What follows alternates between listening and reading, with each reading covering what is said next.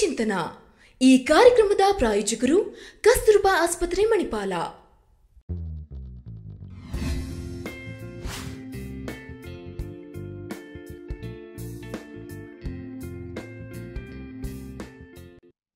ನಮಸ್ಕಾರ ವೀಕ್ಷಕರೇ, ಕಸ್ತೂರ್ಬಾ ಆಸ್ಪತ್ರೆ, ಮಣಿಪಾಲ್ ಅರ್ಪಿಸುವ ಆರೋಗ್ಯ ಚಿಂತನಾ ಕಾರ್ಯಕ್ರಮಕ್ಕೆ ತಮಗೆಲ್ಲರಿಗೂ ಕೂಡ ಪ್ರೀತಿಯ ಸ್ವಾಗತ. ಪ್ರತಿ ವಾರ ನಾವು ಆರೋಗ್ಯಕ್ಕೆ ಸಂಬಂಧಪಟ್ಟಂತೆ ಒಂದೊಂದು ವಿಚಾರಗಳ ಬಗ್ಗೆ ಮಾಹಿತಿಯನ್ನ ನೀಡ್ತಾ ಹೋಗ್ತೇವೆ. ಅದೇ ರೀತಿ ಇವತ್ತಿನ ಕಾರ್ಯಕ್ರಮದಲ್ಲೂ ಕೂಡ ಒಂದು ಮುಖ್ಯವಾದ ವಿಚಾರದ ಬಗ್ಗೆ ನಿಮಗೆ ಮಾಹಿತಿಯನ್ನು ನೀಡ್ತಾ ಹೋಗ್ತೇವೆ. ಪ್ರತಿ ವರ್ಷ ಅಕ್ಟೋಬರ್ ಹನ್ನೆರಡನೇ ತಾರೀಕಿಗೆ ವಿಶ್ವ ಸಂಧಿವಾತ ದಿನ ಅಂತ ಆಚರಣೆ ಮಾಡ್ತಾರೆ. ಎರಡು ದಿನಗಳ ಹಿಂದೆ ಅಷ್ಟೇ ವಿಶ್ವ ಸಂಧಿವಾತದ ದಿನವನ್ನು ನಾವು ಆಚರಣೆ ಮಾಡಿದ್ವಿ. ಸೊ ಅದೇ ವಿಚಾರದ ಕುರಿತು ಇವತ್ತಿನ ಕಾರ್ಯಕ್ರಮದಲ್ಲಿ ನಾವು ನಿಮಗೆ ಮಾಹಿತಿಯನ್ನು ನೀಡ್ತಾ ಹೋಗ್ತೇವೆ. ಸಂಧಿವಾತ ಅಂತ ಹೇಳಿದ್ರೆ ಏನು? ಎಷ್ಟು ಭಾಗಗಳಿವೆ? ಅಂದ್ರೆ ಎಷ್ಟು ಟೈಪ್ಸ್ ಇದೆ ಸಂಧಿವಾತದಲ್ಲಿ? ಸೊ ಇದಕ್ಕೆ ಇರುವಂತಹ ಚಿಕಿತ್ಸೆಗಳೇನು? ಇದೆಲ್ಲದರ ಬಗ್ಗೆ ನಿಮಗೆ ಸಂಪೂರ್ಣವಾದ ಮಾಹಿತಿಯನ್ನು ನೀಡೋದಕ್ಕೆ ಇವತ್ತಿನ ಕಾರ್ಯಕ್ರಮದಲ್ಲಿ ನಮ್ಮ ಜೊತೆ ಜಾಯ್ನ್ ಆಗಿದ್ದಾರೆ. ಡಾಕ್ಟರ್ ಅಮೃತರಾಜ್ ಬಿಕೆ ಇವರು ಮೂಳೆ ಮತ್ತು ಕಿರಿನ ವಿಭಾಗದ ಸಹ ಪ್ರಾಧ್ಯಾಪಕರು. ಮೊದಲನೇದಾಗಿ ಅವರನ್ನ ಕಾರ್ಯಕ್ರಮಕ್ಕೆ ಸ್ವಾಗತಿಸ್ತಾ ಇದ್ದೀನಿ. ಡಾಕ್ಟರ್ ಕಾರ್ಯಕ್ರಮಕ್ಕೆ ಸ್ವಾಗತ. ಹಾಗೆ ವೀಕ್ಷಕರೇ ನಿಮ್ಮಲ್ಲೂ ಕೂಡ ಅನೇಕ ಪ್ರಶ್ನೆಗಳಿರಬಹುದು ಸಂಧಿವಾತಕ್ಕೆ ಸಂಬಂಧಪಟ್ಟಂತೆ. ನೀವು ಕೂಡ ನಮ್ಮ ಕಾರ್ಯಕ್ರಮಕ್ಕೆ ಕರೆ ಮಾಡಿ ನಿಮ್ಮಲ್ಲಿರುವ ಪ್ರಶ್ನೆಯನ್ನು ಡಾಕ್ಟರ್ ಬಳಿ ಕೇಳ್ಬೋದು. ಡಾಕ್ಟರ್ ಅಕ್ಟೋಬರ್ ಹನ್ನೆರಡನೇ ತಾರೀಕಿಗೆ ವಿಶ್ವ ಸಂಧಿವಾತ ದಿನವನ್ನ ಆಚರಣೆ ಮಾಡ್ತಾರೆ ಪ್ರತಿ ವರ್ಷವೂ ಕೂಡ. ಸೊ ಒಂದೊಂದು ವರ್ಷದಲ್ಲೂ ಕೂಡ ಒಂದೊಂದು ಥೀಮ್ ಇರ್ತದೆ. ಸೊ ಅದೇ ರೀತಿ ಈ ಬಾರಿ ಏನ್ ಥೀಮ್ ಇದ್ದಿತ್ತು ಡಾಕ್ಟರ್ ಅಕ್ಟೋಬರ್ ಹನ್ನೆರಡಕ್ಕೆ ಆಚರಣೆ ಮಾಡಿದಂತ ವಿಶ್ವ ಸಂಧಿವಾತ ದಿನ ಆಚರಣೆ? ಇದು ಸಾವಿರದ ಒಂಬೈನೂರ ತೊಂಬತ್ತಾರರಿಂದ ಪ್ರತಿ ವರ್ಷ ಒಂದು ಅಕ್ಟೋಬರ್ ಹನ್ನೆರಡರಂದು ವಿಶ್ವ ಸಂಧಿವಾತ ದಿನ ಅಂತ ಆಯೋಜನೆ ಮಾಡ್ತಾರೆ. ಇದು ಮೇನ್ಲಿ ಟು ಅವೇರ್ನೆಸ್ ಹುಟ್ಟಿಸ್ಲಿಕ್ಕೆ ಅಂತ ಅರಿವಳಿಕೆ ಹೆಚ್ಚು ಮಾಡಲಿಕ್ಕೆ ಅಥವಾ. ಪೇಶ ಪೇಷಂಟಿಗೆ ಬೇಗ ಅವರಿಗೆ ಅದು ಟ್ರೀಟ್ಮೆಂಟಿಗೆ ಬರುವ ಹಾಗೆ ಕೆಲವರಿಗೆ ಡಿಲೇ ಮಾಡಬಾರ್ದು ಮಾಡಬಾರ್ದು ಅಂಥದ್ದೆಲ್ಲ ಸ್ವಲ್ಪ ಅರಿವಳಿಕೆ ಹುಟ್ಟಿಸ್ಲಿಕ್ಕೆ ಮತ್ತೆ ಅವರಿಗೆ ಸಪೋರ್ಟ್. ಹೇಗೆ ಮಾಡ್ಬೋದು ಅಂತ ಸೊಸೈಟಿಗೆ ಸ್ವಲ್ಪ ತಿಳಿಸ್ಲಿಕ್ಕೆ ಇದು ಆಚರಣೆ ಮಾಡ್ತಾರೆ ಸೊ ಈ ಸರ್ತಿದ್ದು ಈ ಈ ಅದು ಟಾಪಿಕ್ ಇದ್ದದ್ದು living with R M D through different phases of life ಅಂದರೆ ನಮ್ಮ ಪ್ರತಿ ಏಜ್. ಪ್ರತಿಯೊಂದು ವಯಸ್ಸಲ್ಲಿ ಈ ಸಂಧಿವಾತ ಕಾಣ್ಕೊಳ್ತದೆ. ಅದರಲ್ಲಿ ಅದರಲ್ಲಿ ಅದ್ರ ಜೊತೆಗೆ ಹೇಗೆ ಬದುಕಬೇಕು ನಾವು? ಅದಕ್ಕೆ ಹೇಗೆ ಅಡಾಪ್ಟ್ ಆಗಿ ನಮ್ಮದು ದಿನನಿತ್ಯ ಕಾರ್ಯವನ್ನು ಅಥವಾ ಕೆಲಸಗಳನ್ನು ಅಡಾಪ್ಟ್ ಮಾಡ್ಬೋದು ಅಂತ ಬಗ್ಗೆ ಈ- ಈ ಸತ್ಯ ಸರ್ತಿಯ ಥೀಮ್ ಆಗಿರ್ತದೆ. ಓಕೆ. ಮುಖ್ಯವಾಗಿ ಜನರಿಗೆ ಇದರ ಬಗ್ಗೆ ಅರಿವನ್ನು ಮೂಡಿಸೋ ಉದ್ದೇಶದಿಂದ ಪ್ರತಿ ವರ್ಷ ಅಕ್ಟೋಬರ್ ಹನ್ನೆರಡನೇ ತಾರೀಕಿಗೆ ಆಚರಣೆ ಮಾಡ್ತಾರೆ. ಇನ್ನು ಮುಖ್ಯವಾಗಿ ಈ ಸಂಧಿವಾತ ಅಂತ ಹೇಳಿದ್ರೆ ಏನು ಸೊ ಸಂಧಿಯಲ್ಲಿ ಅಥವಾ ಜಾಯಿಂಟ್ಸಲ್ಲಿ ನೋವು ಬರಲು ಹಲವಾರು ಕಾರಣ ಇದೆ. ಸೊ ಈ ವಾತ ಅಂತ ಹೇಳಿದರೆ ಇನ್ಫ್ಲಮೇಷನ್ ಅಂತ ಹೇಳ್ಬೋದು. ಸೊ ಸಂಧಿವಾತ ಅಥವಾ ಸಂಧಿ ನೋವು ಬರಲಿಕ್ಕೆ ಕಾಮನೆಸ್ಟ್ ಕಾರಣ ಇರೋದು ಆಸ್ಟಿಯೋ ಆರ್ಥರೈಟಿಸ್. ಆಸ್ಟಿಯೋ ಆರ್ಥರೈಟಿಸ್ ಅಂದರೆ ಅದು ಅದರಲ್ಲಿ ಏನು ಇನ್ಫ್ಲಮೇಷನ್ ಇಲ್ಲ ಅಥವಾ ಏನು ಉರಿಯೂತ ಇಲ್ಲ. ಆದರೂ ಅದರಲ್ಲಿ ನೋವು ಕಂಡುಬರ್ತದೆ. ಇದು ಏಜಿಗೆ ಸಂಬಂಧಪಟ್ಟದ್ದು ಅಂದರೆ ವೇರ್ ಆ್ಯಂಡ್ ಟೇರ್ ಅಥವಾ ಯೂಸ್ ಮಾಡಿದಂತೆ ಸವೆತ ಉಂಡ ಉಂಟಾಗಿ. ಹೌದು. ಜಾಯಿಂಟ್ ಒಳಗೆ ಮೂಳೆಯಲ್ಲಿ ಸವೆತ ಉಂಟಾಗಿ ಇದು ಕಂಡು ಬರುವಂಥದ್ದು ಇದು ನಮ್ಮೆಲ್ಲರಲ್ಲಿ ಕಂಡು ಬರುತ್ತೆ ಆದರೆ ಕೆಲವರಿಗೆ ಬೇಗ ಬರ್ತದೆ ಕೆಲವರಿಗೆ ಲೇಟ್ ಬರ್ತದೆ ಕೆಲವರಿಗೆ ಜಾಸ್ತಿ ಬರುತ್ತೆ. ಹಾಗೆ ವ್ಯತ್ಯಾಸ ಇರ್ತದೆ. ಆದರೂ if we live long enough everybody will get arthritis osteoarthritis okay ಹಾಗಾದ್ರೆ ಇದನ್ನು ಹೆಚ್ಚಾಗಿ ಯಾರಲ್ಲಿ ಕಂಡು ಬರ್ತದೆ ಅಂತ ಹೇಳಲಿಕ್ಕೆ ಆಗೋದಿಲ್ಲ ಅದು ಅದೇ ಇದು ಏಜ್ ಆದಾಗೆ ಜಾಸ್ತಿ ಕಂಡು ಬರ್ತದೆ ಯೂಶಲಿ ಫಿಫ್ಟಿ ಫೈವ್ ನಂತರ ಕಂಡು ಬರ್ತದೆ ಮುಖ್ಯವಾಗಿ ವೇಟ್ ಜಾಸ್ತಿ ಯಾವ ಜಾಯಿಂಟ್ ತಗೊಳ್ತದೆ ಅದರಲ್ಲಿ. ಅದು ಮೊಣಕಾಲು ಆಗ್ಬೋದು ಅಥವಾ ಇಲ್ಲಿ ಹಿಪ್ ಜಾಯಿಂಟ್ಸ್ ಆಗ್ಬೋದು. ಇದರಲ್ಲಿ ಜಾಸ್ತಿ ಕಂಡು ಬರ್ತದೆ. ವೆಯ್ಟ್ ತಗೊಳ್ಳುವಂಥ ಜಾಯಿಂಟ್ಸ್ ಅಲ್ಲಿ ವೇರ್ ಅಂಡ್ ಟೇರ್ ಇಂದ ಉಂಟಾಗ್ತದೆ. ಓಕೆ ಇನ್ನು ಏಜ್ ಆಗ್ತಾ ಇದ್ದಾಗೆ ಜಾಸ್ತಿ ಆಗಿ ಅಂದ್ರೆ ಕೆಲವರಿಗೆ ಮೂಳೆ ಸಂಧಿಯಲ್ಲಿ ನೋವು ಸ್ಟಾರ್ಟ್ ಆಗ್ತದಲ್ಲ ಹೌದು. ಸೊ ಆ ಕಾರಣದಿಂದ ಬರ್ತದೆ ಅನ್ನುವಂಥದ್ದನ್ನ ಇನ್ನೊಂದಂದ್ರೆ ಈಗ ಮಂಡಿ ಅಥವಾ ಯಾವುದೇ ಜಾಯಿಂಟಿಗೆ ಇಂಜುರಿ ಆಗಿದ್ರೆ ಅದು ಫ್ರ್ಯಾಕ್ಚರ್ ಆಗಿರ್ಬೋದು ಅದು ಫ್ರ್ಯಾಕ್ಚರಿಗೆ ಆಪರೇಷನ್ ಆಗಿರ್ಬೋದು ಆಗದೇ ಇರ್ಬೋದು ಅಥವಾ ಮೆನಿಸ್ಕಲ್ ಇಂಜುರಿ ಲಿಗಮೆಂಟ್ ಇಂಜುರಿ ಎಂಥದ್ದು ಯಾವುದೇ ತೊಂದರೆ ಆಗಿದ್ದಲ್ಲಿ ಆ ಜಾಯಿಂಟಿಗೆ ಪೆಟ್ಟಾದಾಗ ಈ ಸಂಧಿ ಇದು ಆರ್ಥರೈಟಿಸ್ ಆಸ್ಟಿಯೋ ಆರ್ಥ್ರೈಟಿಸ್ ಬೇಗ ಬರುವಂಥ ಚಾನ್ಸ್ ಇದೆ. ಅಂದರೆ ಈಗ ಟ್ರೊಮ್ಯಾಟಿಕ್ ಆರ್ಥ್ರೈ ಪೋಸ್ಟ್ ಟ್ರೊಮ್ಯಾಟಿಕ್ ಆರ್ಥರೈಟಿಸ್ ಅಂತ ಹೇಳ್ತೇವೆ. ಸೊ ಇಂಥದ್ದು ಪೆಟ್ಟಾದ ನಂತರ ಒಂದು ಹತ್ತು ವರ್ಷದ ಸುಮಾರುಗೆ ನಿಮಗೆ ಕಂಡು ಬರ್ತದೆ. ಈ ಜಾಯಿಂಟ್ ಸವಿಲಿಕ್ಕೆ ಶುರು ಆಗ್ತದೆ ಬೇಗ compared to elderly age group of normal arthritis ಇದು ಬೇಗ ಶುರುವಾಗುತ್ತದೆ ಡಾಕ್ಟರ್ ಟೈಪ್ಸ್ ಏನಾದರೂ ಉಂಟಾ ಡಾಕ್ಟರ್ ಎಷ್ಟು ಟೈಪ್ಸ್ ಇದೆ ಸಂಧಿವಾತದಲ್ಲಿ. ಈ ಆಸ್ಟಿಯೋ ಆರ್ಥ್ರೈಟಿಸ್ ಬಿಟ್ಟು. ಬೇರೆ ಉರಿಯೂತದಿಂದ ಉಂಟಾಗುವಂಥದ್ದು ಆರ್ಥ್ರೈಟಿಸ್ ಇದೆ. ಅದರಲ್ಲಿ ಮೇನ್ ಆಗಿ ರುಮಟಾಯ್ಡ್ ಆರ್ಥರೈಟಿಸ್ ಅಂತ ಹೇಳ್ತೇವೆ. ಸೊ ಇದ್ರ ಯೂಶಲಿ ಫೀಮೇಲ್ಸಲ್ಲಿ ಅಥವಾ ಹೆಂಗಸರಲ್ಲಿ ಜಾಸ್ತಿ ಕಂಡು ಬರ್ತದೆ. ಒಂದು ಮೂವತ್ತು ನಲವತ್ತು ವರ್ಷದ ವಯಸ್ಸಿನಲ್ಲಿ ಕಂಡು ಬರ್ತದೆ. ಇದರಲ್ಲಿ ಹೇಗಂತ ಹೇಳಿದ್ರೆ ಚಿಕ್ಕ ಜಾಯಿಂಟ್ಗಳು ಇನ್ವಾಲ್ವ್ಮೆಂಟ್ ಆಗುತ್ತೆ. ಚಿಕ್ಕ ಜಾಯಿಂಟ್ಗಳಲ್ಲಿ ನೋವು ಉಂಟಾಗುತ್ತೆ. ಎರಡೂ ಕೈಯಲ್ಲಿ ಸಮಾನ್ ಸಮಾನವಾಗಿ ಉಂಟಾಗ್ತದೆ. ಬೆಳಿಗ್ಗೆ ಏಳುವಾಗ ಕೈ ಮಡಿಸ್ಲಿಕ್ಕೆ ಅಥವಾ ಚಲ ಚಲನೆ ಮಾಡಲಿಕ್ಕೆ ಕಷ್ಟ ಆಗ್ಬೋದು. ಇದು ಸ್ಟಿಫ್ನೆಸ್ ಮಾರ್ನಿಂಗ್ ಸ್ಟಿಫ್ನೆಸ್ ಅಂತ ಹೇಳೋದು ಒಂದು ಸಾಧಾರಣ ಒಂದು ಗಂಟೆಗಿಂತ ಜಾಸ್ತಿ ಉಂಟಾಗ್ತದೆ. ಮತ್ತು ನಿಧಾನ ಯೂಸ್ ಮಾಡ್ತಾ ಮಾಡ್ತಾ ಅದು ಸ್ವಲ್ಪ ಜಾಯಿಂಟ್ ಫ್ರೀ ಆಗ್ತಾ ಬರ್ತದೆ. ಹಾಗೆ. ಇದು ಇದರಲ್ಲಿ ಜಾಯಿಂಟ್ ಒಳಗೆ. ಸೈನೋ ಸೈನೋವಿಯಂ ಅಂತ ಒಂದು ಪದರ ಇರ್ತದೆ. ಅದರಲ್ಲಿ ಉಂಟಾಗುವಂಥ ಕಾಯಿಲೆ. ಇದು ಹೇಗಂತಂದರೆ ಇದು ಸವೆ ಸವೆತದಿಂದ ಉಂಟಾಗೋದಲ್ಲ ಇದು ನಮ್ಮ ದೇಹದ ಇಮ್ಯುನಿಟಿ. ನಮ್ಮ ಜಾಯಿಂಟಿಗೆ ಆಕ್ರಮಣ ಮಾಡ್ತದೆ. ಸೊ ಇದರಿಂದ ಈ ಸೈನೋವಿಯಂ ಅಂತ ಹೇಳುವ ಪದರಕ್ಕೆ ಆಕ್ರಮಣ ಮಾಡಿ ಅಲ್ಲಿ ಉರಿಯೂತ ಉಂಟಾಗುತ್ತೆ. ಈ ಉರಿಯೂತ ಸ್ಪ್ರೆಡ್ ಆಗಿ ಇಡೀ ಜಾಯಿಂಟನ್ನು ಆವರಿಸ್ಕೊಳ್ತದೆ. ಸೊ ಹಾಗೆ ಜಾಯಿಂಟ್ ಕಂಪ್ಲೀಟ್ ಆಗಿ ಕ್ರಮೇಣ ನಷ್ಟ ಆಗ್ತದೆ. ಸಿಂಪ್ಟಮ್ಸ್ ಏನಾದರೂ ಕಾಣಿಸ್ಕೊಳ್ತದೆ ಡಾಕ್ಟರ್ ಅದೇ ಒಂದಂದ್ರೆ ಇದು ನಾನು ಹೇಳಿದಾಗೆ ಸ್ಮಾಲ್ ಜಾಯಿಂಟ್ ಇನ್ವಾಲ್ವ್ಮೆಂಟ್ ಕೈ ಕಾಲ್ ಕಾಲ್ಗಳ ಚಿಕ್ಕ ಚಿಕ್ಕ ಬೆರಳುಗಳದ್ದು ಇನ್ವಾಲ್ವ್ಮೆಂಟ್ ಆಗಲಿ ಅಥವಾ ಸಿಮೆಟ್ರಿಕಲ್ ಇನ್ವಾಲ್ವ್ಮೆಂಟ್ ಅಂದರೆ ಎರಡೂ ಕೈಯಲ್ಲಿ ಸಮಾನವಾಗಿ ಕಾಣಬಂದು ಕಂಡು ಬರೋದು. Morning stiffness more than one hour ಕೈ ಕೈ ಸ್ಟಿಫ್ನೆಸ್ ಸ್ಟಿಫ್ ಆಗಿರೋದು ಒಂದು ಒಂದು ಗಂಟೆವರೆಗೆ ಕೈ ಆಡಿಸ್ಲಿಕ್ಕೆ ಕಷ್ಟ ಆಗುವಂಥದ್ದು ಇಂಥದ್ದು. ಮತ್ತು ಇದಲ್ಲದೆ ಈ ಮೂಳೆಗಳಲ್ಲದೆ it is not just a disease of bone and joint it is a systemic disease ಅಂದರೆ ಇದು ಇಡೀ ದೇಹಕ್ಕೆ ಬರುವಂಥ ಡಿಸೀಸ್ ಇದು ಸೊ ಬೇರೆ ಅಥವಾ ಸ್ಪೈನ್ ಆಗಲಿ ಅಥವಾ ಕಣ್ಣುಗಳಾಗಲಿ ನರಗಳಾಗಲಿ ಎಲ್ಲ ಕಡೆ ಸ್ವಲ್ಪ ಸ್ವಲ್ಪ ತೊಂದರೆ ಕೊಡ್ತದೆ ಇದು. ಟ್ರೀಟ್ಮೆಂಟ್ ಏನಿರ್ತದೆ ಇದು ರುಮಟೋ ಆರ್ಥೈಟಿಸ್ಗೆ ಮೇನ್ ಟ್ರೀಟ್ಮೆಂಟ್ ಅಂತ ಹೇಳಿದರೆ ಮದ್ದು. ಮದ್ದು ಅಂದರೆ ಮೆಡಿಸಿನ್ಸ್ ಸೊ ಇದಕ್ಕೆ ಎಕ್ಯೂಟ್ ಪೇನ್ ಅಂದರೆ ಜಾಸ್ತಿ ನೋವಿದ್ದಾಗ ನಾವು ಆ್ಯಂಟಿ ಇನ್ಫ್ಲಮೇಟ್ರಿ ಮೆಡಿಸಿನ್ಸ್ ಕೊಡ್ತೇವೆ. ಸೊ ಇನ್ಫ್ಲಮೇಷನ್ ಸ್ವಲ್ಪ ಕಟ್ ಕಂಟ್ರೋಲ್ ಆಗುತ್ತೆ ಎರಡನೇದು disease modifying anti rheumatoid drugs. ಅಂತ ಹೇಳುವಂಥದ್ದು ಇದು ಈ ಕಾಯಿಲೆಯ ನಾರ್ಮಲ್ ಏನು. ಪ್ರೋಗ್ರೆಷನ್ ಏನಿದೆ ಅದನ್ನು ತಡೆಗಟ್ತದೆ ನಾರ್ಮಲ್ ಆಗಿ ಹೇಗೆ ಅದು ಜಾಸ್ತಿ ಆಗ್ತಾ ಹೋಗುತ್ತೆ ಅದನ್ನು ತಡೆಗಟ್ಟಿ ಈಗ ಇದ್ದ ಸ್ಟೇಜಲ್ಲೇ ನಾವು ಜಾಸ್ತಿ ಸಮಯ ಕಳೆಯುವಂತೆ ಮಾಡ್ತದೆ.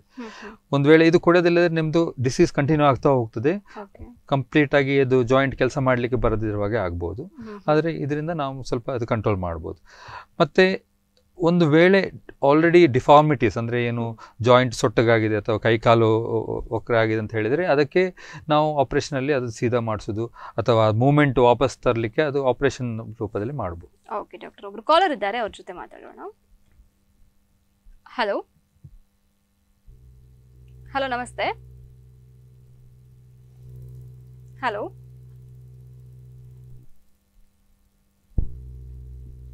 ಓಕೆ ಕರೆ ಆಗಿದೆ ಡಾಕ್ಟರ್ ಇನ್ನು ಅತಿ ಕಾಮನ್ ಆಗಿ ಕಾಣುವಂತಹ ಸಂಧಿವಾತ ಯಾವುದು? ಅದರ ಬಗ್ಗೆ ಹೇಳೋದಾದ್ರೆ ಸೊ ಅತಿ ಕಾಮನ್ ಆಗಿ ನಾನು ಹೇಳಿದಂತೆ ಇದು ಆಸ್ಟಿಯೋಆರ್ಥ್ರೈಟಿಸ್ ಅದು already I told you it's a different class ಅದು ಬೇರೆ ಗ್ರೂಪಲ್ಲಿ ಬರ್ತದೆ. ಅದು ಸೌ ಸೌ ಸವೆತ ಉಂಟಾಗಿ ಆಗುವಂಥದ್ದು ಏಜ್ ರಿಲೇಟೆಡ್ ಅವ್ರ ಹಾಗೆ. ಅದು ಬಿಟ್ಟು ಇರುವಂತಹ ಅತಿ ಕಾಮನ್ ಅಂತ ಹೇಳಿದ್ರೆ ರುಮಟೋಡ್ ಆರ್ಥ್ರೈಟಿಸ್ ಈಗ ನಾವು ಮಾತಾಡಿದಂಥದ್ದು.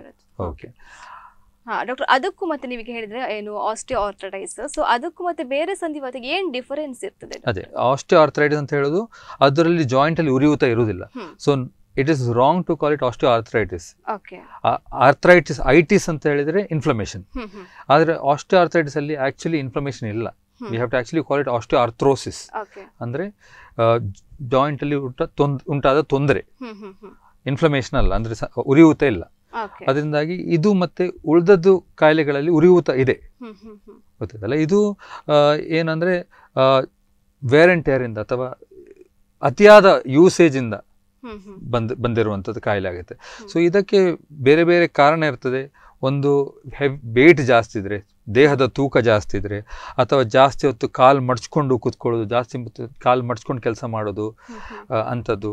ಜಾಸ್ತಿ ತುಂಬ ನಡೆಯೋದು ತುಂಬ ಹತ್ತಿಳಿಯುವಂಥ ಕೆಲಸ ಇದ್ದವರಿಗೆ ಇಂಥದ್ದು ಆರ್ಥೈಟಿಸ್ ಸೌಕರ್ಯ ಜಾಸ್ತಿ ಬೇಗ ಬರ್ತದೆ. ಓಕೆ.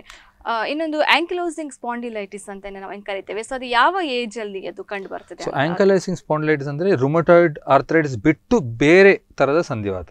ಸೊ ಇದರಲ್ಲಿ ಒಂದು ನಾವು ರುಮಟಾಯ್ಡ್ ಆರ್ಥರೈಟಿಸ್ ಅಲ್ಲಿ ರುಮಟಾಯ್ಡ್ ಫ್ಯಾಕ್ಟರ್ ಅಂತ ಹೇಳೋ ಬ್ಲಡ್ ಟೆಸ್ಟ್ ಮಾಡ್ತೇವೆ. ಇದರಲ್ಲಿ ಅದು ನೆಗೆಟಿವ್ ಆಗಿರ್ತದೆ. ಅದು ಬರೋದಿಲ್ಲ.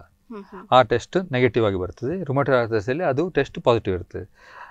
ಮತ್ತೆ ಇದು ಯೂಶಲಿ ಯಂಗ್ ಮೇಲ್ಸ್ ಅಂದರೆ ಒಂದು ಟ್ವೆಂಟೀಸ್ ತರ್ಟೀಸ್ ಅಲ್ಲಿ ಇರುವಂಥ ಗಂಡಸರಲ್ಲಿ ಬರ್ತದೆ. ಇದರಲ್ಲಿ ಸ್ಮಾಲ್ ಜಾಯಿಂಟ್ ಇನ್ವಾಲ್ವ್ಮೆಂಟ್ ಅಲ್ಲ ಇದರಲ್ಲಿ ಆಕ್ಸಿಲ್ ಸ್ಕೆಲ್ಟನ್ ಅಂದರೆ ನಮ್ಮದು ಬೆನ್ನಿನ ಮೂಳೆ ಮತ್ತೆ ಹಿಪ್ ಜಾಯಿಂಟ್ ಹತ್ರ ಅಲ್ಲಿ ಆ ಪಾರ್ಟಲ್ಲಿ ಇನ್ವಾಲ್ವ್ಮೆಂಟ್ ಜಾಸ್ತಿ ಇರ್ತದೆ.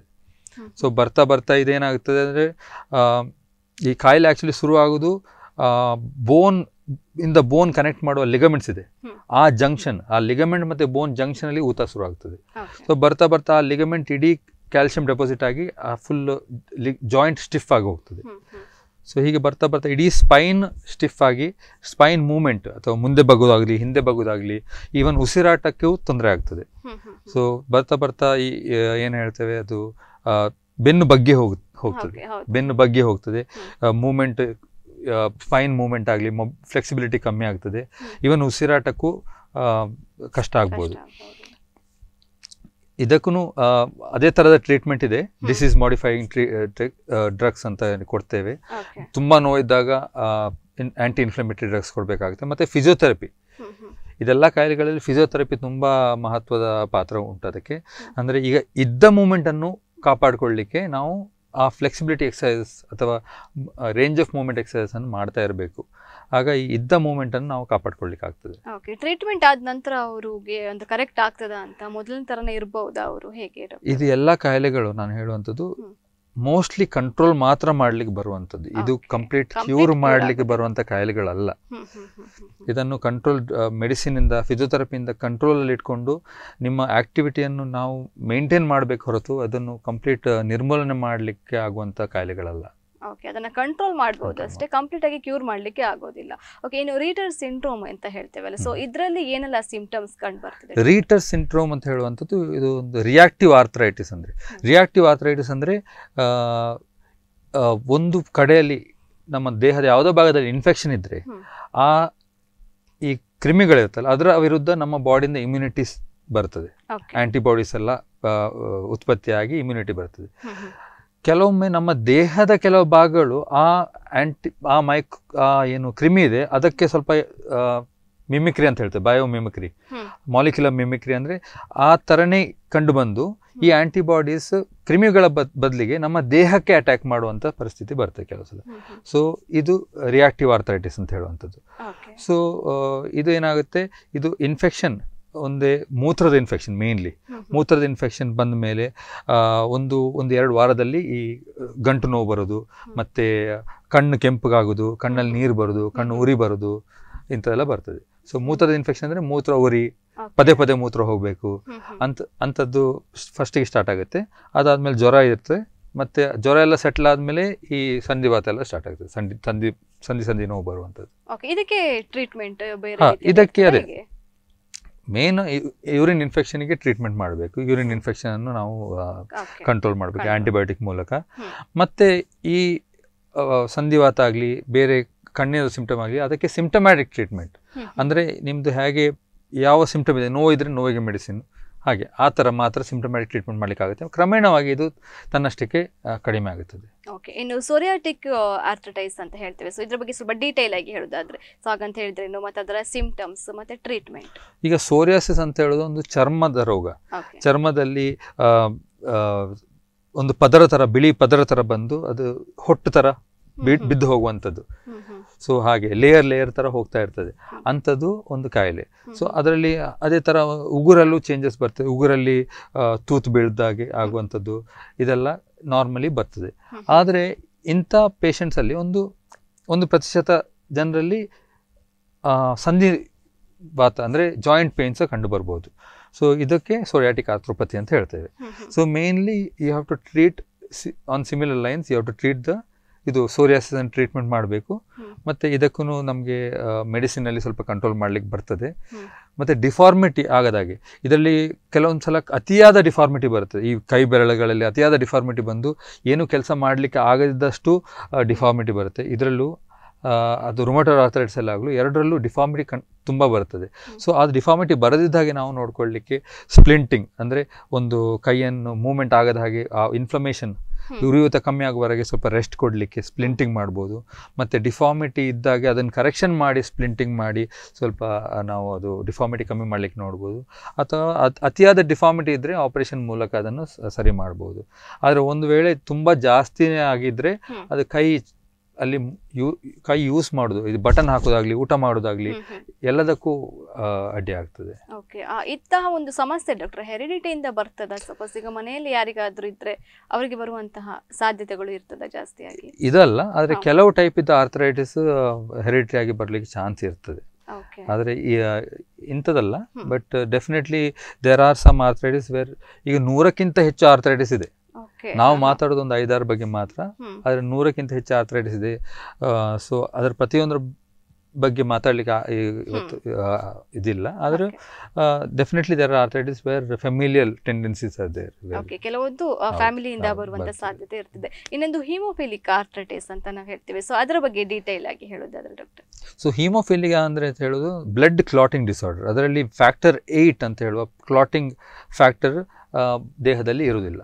ಇದರಿಂದ ನಮ್ಮದು ಕ್ಲಾಟಿಂಗ್ ಕ್ಯಾಸ್ಕೇಡ್ ಅಂತ ಹೇಳ್ತೇವೆ. ಅಂದರೆ ರಕ್ತ ಒಂದ್ಸಲ ಬ್ಲೀಡಿಂಗ್ ಸ್ಟಾರ್ಟ್ ಆದರೆ ಅದನ್ನು ನಿಲ್ಲಿಸಲಿಕ್ಕೆ ನಮ್ಮ ದೇಹದಲ್ಲಿ ಒಂದು ಪ್ರಕ್ರಿಯೆ ಇದೆ. ಅದು ಸರಿಯಾಗಿ ನಡೆಯೋದಿಲ್ಲ ಸೊ ಅದರಿಂದಾಗಿ ಬ್ಲೀಡಿಂಗ್ ಆಗ್ತಾ ಹೋಗ್ತದೆ. ಸೊ ಎಲ್ಲ ಗಾಯ ಆದ್ರೂ ಬ್ಲೀಡಿಂಗ್ ಕಂಟ್ರೋಲ್ ಮಾಡೋದು ಕಷ್ಟ ಆಗುತ್ತೆ. ಅದೇ ರೀತಿಯಲ್ಲಿ ಯಾವ್ದಾದ್ರು ಜಾಯಿಂಟಿಗೆ ಪೆಟ್ಟಾದರೆ ಆ ಜಾಯಿಂಟ್ ಒಳಗೆ ಬ್ಲೀಡಿಂಗ್ ಆಗುತ್ತೆ. ಹೀಗೆ ದಪ್ಪ ಆಗೋ ಚಾನ್ಸ್ ಇದೆ. ಸೊ ಪದೇ ಪದೇ ನಾರ್ಮಲ್ ಆಗಿ ನಾವೇನು ಸೂಜಿ ಹಾಕಿ ಏನದು ಬ್ಲಡ್ ತೆಗಿಲಿಕ್ಕೆ ಹೋಗೋದಿಲ್ಲ. ಅದು ಅಲ್ಲೇ ಕ್ರಮೇಣ ಕರಗಿ ಹೋಗ್ತದೆ. ನೋವಿಗೋಸ್ಕರ ನಾವು ಮೆಡಿಸಿನ್ ಕೊಡ್ತೇವೆ. ಸ್ವಲ್ಪ ಐಸ್ ಪ್ಯಾಕಲ್ಲಿ ಹಾಕಿ ಇನ್ನೂ ಬ್ಲೀಡ್ ಆಗೋದಾಗಿ ನೋಡ್ಕೊಳ್ತೇವೆ ಹೊರತು. ಅದು ರಕ್ತ ತೆಗಿಲಿಕ್ಕೆ ಹೋಗೋದಿಲ್ಲ. ಆದರೆ ಪದೇ ಪದೇ ಈಗ ಆಗ್ತಾ ಇದ್ದರೆ ಅದು ಜಾಯಿಂಟ್ ಡ್ಯಾಮೇಜ್ ಆಗೋ ಚಾನ್ಸ್ ಇದೆ. ಜಾಯಿಂಟ್ ಡ್ಯಾಮೇಜ್ ಆಗಿ ಡಿಫಾರ್ಮಿಟೀಸ್ ಅಥವಾ ಕಾಲು ಸೊಟ್ಟಗಾಗೋದು ಅಥವಾ ಅಂಥದ್ದಾಗೋ ಚಾನ್ಸ್ ಇದೆ. ಓಕೆ ಟ್ರೀಟ್ಮೆಂಟ್ ಎಷ್ಟು ಟೈಮ್ ಅವ್ರು ಕಂಟಿನ್ಯೂ ಸೊ ಟ್ರೀಟ್ಮೆಂಟ್ ಇಂಥದ್ದು ಬಂದಾಗ ಆ ಫ್ಯಾಕ್ಟರ್ ಕೊಡಬೇಕಾಗಿದೆ. ಅದು clotting factor is the main treatment clotting factor ಕೊಡಬೇಕು. ಹೆಪ್ ರಕ್ತ ಹೆಪ್ಪು ಕಟ್ಟೋದೇನು ಪ್ರಕ್ರಿಯೆ ಇದೆ ಅದನ್ನು ಸರಿಪಡಿಸಲಿಕ್ಕೆ ಕ್ಲಾಟಿಂಗ್ ಫ್ಯಾಕ್ಟರ್ಸ್ ನಾವು ಸಬ್ಸ್ಟಿಟ್ಯೂಟ್ ಕೊಡ್ತೇವೆ. ಅದಾದ್ಮೇಲೆ ನಮ್ಮದು ನೋವಿಗೋಸ್ಕರ ಸ್ವಲ್ಪ ಕಾಲನ್ನು ಸ್ಪ್ಲಿಂಟ್ ಅಥವಾ ಮೂವ್ಮೆಂಟ್ ಇಲ್ಲದಾಗಿ ಸ್ವಲ್ಪ ರೆಸ್ಟ್ ಕೊಟ್ಟು ಅದಕ್ಕೆ ಐಸ್ ಪ್ಯಾಕಲ್ಲಿ ಇಟ್ಟು ಬ್ಲೀಡಿಂಗ್ ಕಮ್ಮಿ ಆಗಿ ಸ್ವಲ್ಪ ನೋವು ಕಮ್ಮಿ ಆಗುವವರೆಗೆ ನಾವು ನೋಡ್ಕೊಳ್ತೇವೆ ಅಷ್ಟೇ. ಡಾಕ್ಟರ್ ಇನ್ನು ಕೆಲವೊಮ್ಮೆ ಅಂದ್ರೆ ಜಾಯಿಂಟಿಗೆ ಎಂದು ಕೊಡುವಂತ ಏನಾದರೂ ಇಂಜೆಕ್ಷನ್ ಅಂತ ಆ ಸಂದರ್ಭ ಏನಾದರೂ ಬರ್ತದೆ ಡಾಕ್ಟರ್ ಈ ಸಂಧಿವಾತ ಸಮಸ್ಯೆ ಇರುವವರಿಗೆ? ಸೊ ಮೆಡಿಸಿನ್ ಕೊಡುವುದನ್ನು ನಾವು ನೋಡಿದ್ವಿ. ಸೊ ಇಂಜೆಕ್ಷನ್ ಕೊಡುವ ಸಂದರ್ಭದಲ್ಲಿ. ಫಸ್ಟ್ ಸ್ಟೆಪ್ ಯಾವಾಗಲೂ ಮೆಡಿಸಿನ್ ಮತ್ತು ಫಿಸಿಯೋಥೆರಪಿ ಇರ್ತದೆ. ಫಿಸಿಯೋಥೆರಪಿ ಮೆಡಿಸಿನ್ಗೆ ಅವರು ಎಸ್ಪೆಷಲಿ ಆಸ್ಟಿಯೋ ಆರ್ಥರೈಟಿಸ್ ಅಂದರೆ ಈ ನಾನು ಹೇಳೋದು ಸವೆತ ಉಂಟಾಗಿ ಉಂಟಾಗೋ ಮಂಡಿ ನೋವಿಗೆ ಫಿಸಿಯೋಥೆರಪಿ ಮತ್ತು ಮೆಡಿಸಿನೇ ಮೇನ್ ಸ್ಟೇ. ಮತ್ತು ಹಾಗೆ ರೆಸ್ಪಾಂಡ್ ಮಾಡದಿದ್ದರೆ ಜಾಯಿಂಟಿಗೆ ಸ್ವಲ್ಪ ಲುಬ್ರಿಕೇಶನ್ ಇಂಪ್ರೂವ್ ಮಾಡಲಿಕ್ಕೋಸ್ಕರ ಕೆಲವು ಇಂಜೆಕ್ಷನ್ ಕೊಡ್ಬೋದು. ಅದರ ಹೈಲೋರೋನಿಕ್ ಆ್ಯಸಿಡ್ ಅಂತ ಹೇಳ್ತೇವೆ. ಅಂಥದ್ದು ಇಂಜೆಕ್ಷನ್ ಕೊಟ್ಟಾಗ ಕೆಲವು ಸಲ ಲುಬ್ರಿಕೇಶನ್ ಇಂಪ್ರೂವ್ಮೆಂಟ್ ಆಗಿ ಸ್ವಲ್ಪ ನೋವು ಕಮ್ಮಿ ಆಗುತ್ತೆ ಒಂದು. ಆ ಎಫೆಕ್ಟ್ಸ್ ಸಾಧಾರಣ three months six months one year ಬೇರೆ ಬೇರೆ ಥರ ಬರ್ತದೆ. ಆ ಎಫೆಕ್ಟ್ ಎಷ್ಟು ಸಮಯ ಬರ್ತದೆ ಅಂತ ಕೇಳಿದರೆ. ಸೊ ಅದೊಂದಿದೆ. ಅದು ಬಿಟ್ಟು ಮತ್ತೆ ಇನ್ನೂ ಜಾಸ್ತಿ ತೊಂದರೆ ಇದ್ದವರಿಗೆ ಅಂದರೆ ಅವರ ದಿನನಿತ್ಯದ ಕೆಲಸ ಮಾಡಲಿಕ್ಕೆ ಆಗುವುದಿಲ್ಲ ಹ್ಮ್. ಅವರದ್ದು ಡೈಲಿ ಆ್ಯಕ್ಟಿವಿಟೀಸಿಗೂ ಕಷ್ಟ ಆಗ್ತಿದೆ. ಎದ್ದೇಳಲಿಕ್ಕೆ ಟಾಯ್ಲೆಟಿಗೆ ಹೋಗಲಿಕ್ಕೆ ಬಾತ್ರೂಮ್ಗೆ ಹೋಗಲಿಕ್ಕೆ ಮನೆಯಲ್ಲೇ ಸುತ್ತಾಡಲಿಕ್ಕೆ ಕಷ್ಟ ಆಗ್ತದೆ ಅಂತ ಹೇಳಿದರೆ ಮತ್ತೆ ಶಸ್ತ್ರಚಿಕಿತ್ಸೆ ಬೇಕಾಗಬಹುದು. ಓಕೆ ಡಾಕ್ಟರ್ ಆಗುವಾಗ ನಾವು ಆಸ್ಟಿಯೋ ಆರ್ಥ್ರೈಟಿಸ್ ಬಗ್ಗೆ ನಾವು ಮಾತಾಡಿದ್ವಿ. ಸೊ ಅದಕ್ಕೆ ಇನ್ನು ಟ್ರೀಟ್ಮೆಂಟ್ ಬಗ್ಗೆ ಒಂದು ಸ್ವಲ್ಪ ಡೀಟೇಲ್ ಆಗಿ. ಹೇಳ್ಬೋದಾ? ಸೊ ಅದೇ ಹೇಳಿದಾಗ ಇದು ಟ್ರೀ ನಮ್ಮದು ಮೆಡಿಸಿನ್ ಮತ್ತು ಫಿಸಿಯೋಥೆರಪಿಗೆ ರೆಸ್ಪಾಂಡ್ ಮಾಡಲಿಲ್ಲ ಅಂದರೆ ಇದು ಇಂಜೆಕ್ಷನ್ ಟ್ರೀಟ್ಮೆಂಟ್ ಅದಕ್ಕೂ ರೆಸ್ಪಾಂಡ್ ಮಾಡಲಿಲ್ಲ ಅಂದರೆ ಅವರದ್ದು ಡೈಲಿ ಆ್ಯಕ್ಟಿವಿಟೀಸ್ ಎಫೆಕ್ಟ್ ಆಗ್ತಿದೆ ಕ್ವಾಲಿಟಿ ಆಫ್ ಲೈಫ್ ಎಫೆಕ್ಟ್ ಆಗ್ತಿದೆ ಅಂತ ಹೇಳಿದರೆ ನಾವು ಖಂಡಿತ ಅವರಿಗೆ ಶಸ್ತ್ರಚಿಕಿತ್ಸೆಗೆ ಸಜೆಸ್ಟ್ ಮಾಡ್ತೇವೆ. ಯಾವ ಕಾಲು ಅಥವಾ ಯಾವ ಜಾಯಿಂಟ್ ಜಾಸ್ತಿ ನೋವಿದೆ ಅದರದ್ದು ಫಸ್ಟಿಗೆ ಮಾಡ್ತೇವೆ. ಸೊ ಅವರದ್ದು ಎಫೆಕ್ಟ್ ನೋಡಿ ಹೆಚ್ಚಿನವರು ಇನ್ನೊಂದು ಕಾಲಿಗೂ ಮಾಡಿಸ್ಕೊಳ್ಳಿಕ್ಕೆ ಬರ್ತಾರೆ. ಸೊ ಈ ಶಸ್ತ್ರಚಿಕಿತ್ಸೆ ಏನಂತಂದರೆ ಇನಿಷಿಯಲಿ ಅದು ಒಂದು ಕಡೆ ಜಾಯಿಂಟ್ ಜಾಸ್ತಿ ಸವದಿರ್ತದೆ ಎಸ್ಪೆಷಲಿ ಆಸ್ಟ್ರಿಯೋಥರ್ಸಲ್ಲಿ ಮಣ್ ಮಣಕಾಲಿನ ಒಳಭಾಗ ಜಾಸ್ತಿ ಸವದಿರ್ತದೆ ಸೊ ಆ ಪ್ರೆಷರ್ ನಡೆಯುವಾಗ ಜಾಸ್ತಿ ಒಳಭಾಗಕ್ಕೆ ಬೀಳುವಂಥದ್ದು.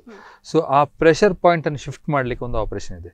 ಹೈ ಟಿಬೆಲ್ ಆಸ್ಟ್ರೋಟಮಿ ಅಂತ ಹೇಳ್ತೇವೆ. ಸೊ ಈ ಏನು ಹೇಳ್ತೇವೆ ಮಣಕಾಲಿನ ಕೆಳಗಿನ ಬೋನನ್ನು ನಾವು ಕಟ್ ಮಾಡಿ ಅದನ್ನು ಅಲೈನ್ಮೆಂಟ್ ಚೇಂಜ್ ಮಾಡ್ತೇವೆ. ಅಲೈನ್ಮೆಂಟ್ ಚೇಂಜ್ ಮಾಡಿದಾಗ ಈ ವೇಟ್ ಏನು ಬೀಳ್ತಾ ಇದೆ ಅದು ಮಂಡಿಯ ಒಳಕ ಒಳಭಾಗ ಅಲ್ಲದೆ ಹೊರಭಾಗಕ್ಕೆ ಬೀಳಿಕ್ಕೆ ಸ್ಟಾರ್ಟ್ ಆಗುತ್ತೆ.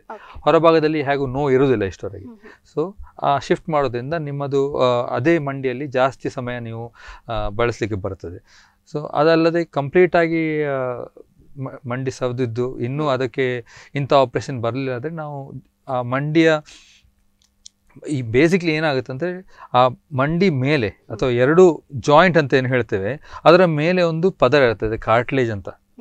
ಸೊ ಆ ಕಾರ್ಟ್ಲೇಜ್ ಅಂತ ಸ್ಮೂತ್ ಪದರ ಇರ್ತದೆ ಎರಡೂ ಸೈಡಲ್ಲಿ ಸೊ ಅದು ಮೂಮೆಂಟಿಗೆ ಹೆಲ್ಪ್ ಮಾಡ್ತದೆ. ಸ್ಮೂತ್ ಆಗಿರುತ್ತೆ ಗ್ಲೈಡಿಂಗ್ ಸುಲಭವಾಗಿ ಆಗುತ್ತೆ. ಅದರಿಂದಾಗಿ ನಾವು ನಾರ್ಮಲ್ ಎಕ್ಸ್ರೇ ನೋಡಿದರೆ ಮೂಳೆ ಮೂಳೆ ಜಾಯಿಂಟಲ್ಲಿ ಟಚ್ ಆಗೋದಿಲ್ಲ. ಯಾಕಂದರೆ ಈ ಪದರ ಇರ್ತದೆ. ಅದು ಎಕ್ಸ್ರೇಲಿ ಕಂಡು ಬರೋದಿಲ್ಲ. ಈಗ ಎಕ್ಸ್ರೇಲಿ ಈ ಎಕ್ಸ್ರೇಲಿ ಕಂಡು ಬಂದಾಗ ಮೂಳೆ ಮೂಳೆ ಟಚ್ ಆಗ್ತಿದೆ ಅಂತ ಹೇಳಿದ್ರೆ ಆ ಪದರ ಕಂಪ್ಲೀಟ್ ಆಗಿ ಸೌದೋಗಿದೆ ಅಂತ ಅರ್ಥ. ಸೊ ಆ ಬರ್ತಾ ಬರ್ತಾ ಹೀಗೆ ಡಿಫಾರ್ಮಿಟಿ ಜಾಸ್ತಿ ಆಗ್ತಾ ಹೋಗ್ತದೆ. ಕಾಲು ಸೊಟ್ಟಗಾಗೋದು ನಡಿಲಿಕ್ಕೆ ಕಷ್ಟ ಆಗೋದು ಆ ಕಾಲದ ಸ್ಟೆಬಿಲಿಟಿ ಇಲ್ಲದೆ ಇರೋದು. ಕಾಲಲ್ಲಿ ವೆಯ್ಟ್ ತಗೊಳ್ಲಿಕ್ಕೆ ಅಥವಾ ಅವರ ದೇಹದ ತೂಕ ತಗೊಳ್ಲಿಕ್ಕೆ ಆಗದೇ ಇರುವಂಥ ಪರಿಸ್ಥಿತಿ ಬರ್ಬೋದು. ಆ ಟೈಮಲ್ಲಿ ನಾವು ಅದು ಜಾಯಿಂಟನ್ನು ಜಾಯಿಂಟ್ ಸರ್ಫೇಸ್ ಏನಿದೆ ಅದನ್ನು ಚೇಂಜ್ ಮಾಡಿ ಹೀಗೆ ಸಂಧಿ ಬದಲಾವಣೆ ಆಪರೇಷನ್ ಮಾಡಲಿಕ್ಕೆ ಬರ್ತದೆ.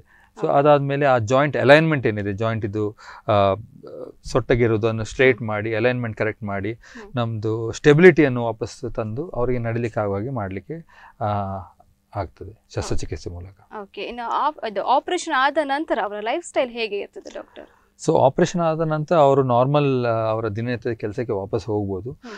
ಆದಷ್ಟು ನಾವು ಜಾಸ್ತಿ ಕಾಲು ಮಡಿಸ್ಕೊಂಡು ಕೂತ್ಕೊಳ್ಳೋದು ಅಥವಾ ಏನು ಟಾಯ್ಲೆಟಿಗೆ ಕೆಳಗೆ ಕೂತ್ಕೊಳ್ಳೋದು ಚಕ್ಮಕ್ಳಾಗಿ ಕೂತ್ಕೊಳ್ಳೋದು ಅವಾಯ್ಡ್ ಮಾಡ್ಲಿಕ್ಕೆ ಹೇಳ್ತೇವೆ. ಯಾಕಂದರೆ ಆ ಕೂತ್ಕೊಂಡು ಹೇಳುವಾಗ ಆ ಜಾಯಿಂಟ್ ಮೇಲೆ ತುಂಬ ಒತ್ತಡ ಬೀಳ್ತದೆ. ಜಾಯಿಂಟ್ ರಿಯಾಕ್ಷನ್ ಫೋರ್ಸ್ ಅಂತ ಹೇಳ್ತೇವೆ. ಅದು ಜಾಸ್ತಿ ಬೀಳ್ತದೆ.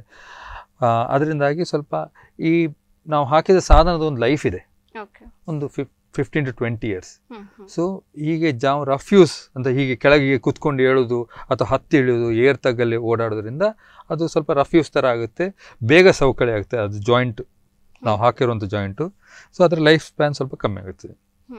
ಅದು ನಾರ್ಮಲಿ ವಿ ಎಕ್ಸ್ಪೆಕ್ಟ್ ಒಂದು ಆಪ್ರೇಷನ್ ಅವರ ಲೈಫ್ ಟೈಮಿಗೆ ಸಾಕಾಗಬೇಕು. ಹೆಚ್ಚಂದ್ರೆ ಎರಡನೇ ಆಪ್ರೇಷನ್ ಮೂರನೇ ಆಪ್ರೇಷನ್ವರೆಗೂ ಹೋಗಬಾರ್ದು.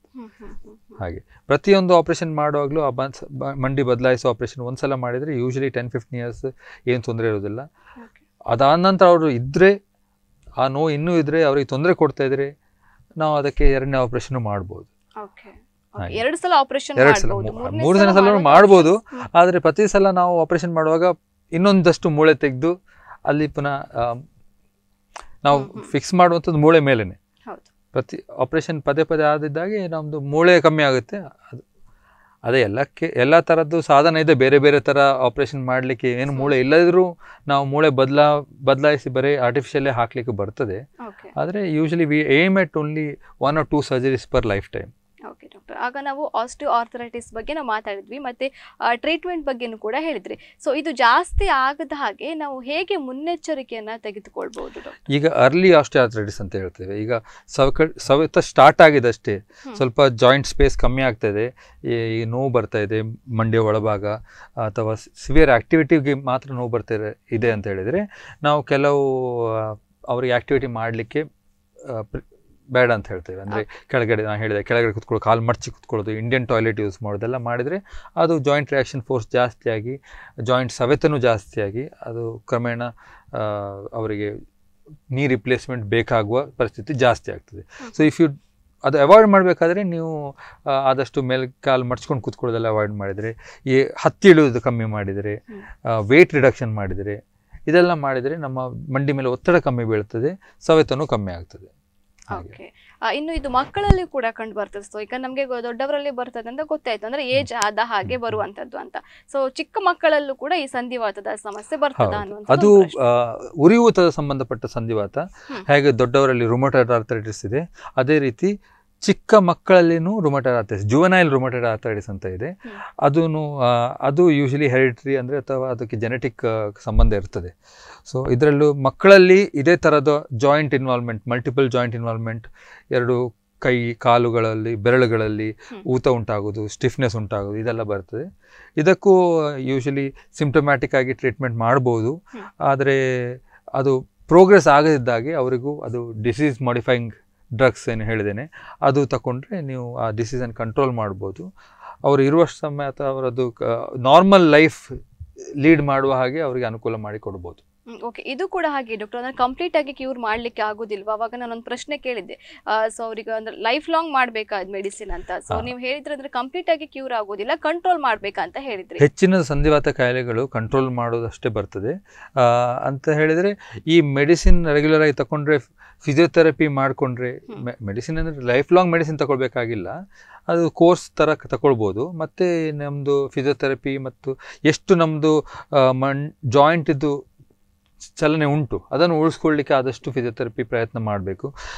ಜಾಯಿಂಟ್ ಸುತ್ತಮುತ್ತಲಿನ ಮಾಂಸಗಳನ್ನು ಸ್ಟ್ರೆಂಥನ್ ಮಾಡಲಿಕ್ಕೆ ಎಕ್ಸಸೈಸ್ ಮಾಡಿ ಸ್ವಲ್ಪ ಇದರ ಇದರಿಂದ ನಿಮ್ಮದು ಜಾಯಿಂಟ್ ಸ್ಟೆಬಿಲಿಟಿನೂ ಜಾಸ್ತಿ ಆಗುತ್ತೆ ಮತ್ತು ನೋವಿಗೂ ಸ್ವಲ್ಪ ಉತ್ತಮ ಆಗ್ತದೆ. ಓಕೆ ಅಂದ್ರೆ ಸ್ಕೂಲಿಗೆ ಹೋಗ್ತಾರೆ. ಅಂದ್ರೆ ಚಿಕ್ಕ ಮಕ್ಕಳು ಅಂತ ಅಂದಾಗ ಸೊ ಅಲ್ಲಿ ಅವರಿಗೆ ಹೇಗೆ ಕೂತ್ಕೊಳ್ಳಿಕ್ಕೆಲ್ಲ ಆಗ್ತದೆ? ಅಂದರೆ ಬೆಳಗ್ಗೆಯಿಂದ ಸಂಜೆ ತನಕ ಕ್ಲಾಸಲ್ಲಿ ಇರಬೇಕಾಗ್ತದೆ. ಸೊ ಆ ಟೈಮಲ್ಲಿ ಅವರು ಹೇಗೆ ಇದು ಮಾಡಬೇಕಾಗ್ತದೆ? ಹೆಚ್ಚಿನವರು ಮೆಡಿಸಿನ್ ಜೊತೆಗೆ ಅವರ ದಿನನಿತ್ಯದ ಕೆಲಸ ಮಾಡ್ಕೊಳ್ಳಿಕ್ಕೆ ಅವರಿಗೆ ಆಗ್ತದೆ. ಅಂಥದ್ರಲ್ಲಿ ಕೆಲವರಿಗೆ ಆಗದಿದ್ದವರಿಗೆ ಅವರಿಗೆ ಸ್ಪೆಷಲ್ ಅಟೆನ್ಷನ್ ಬೇಕಾಗುತ್ತೆ.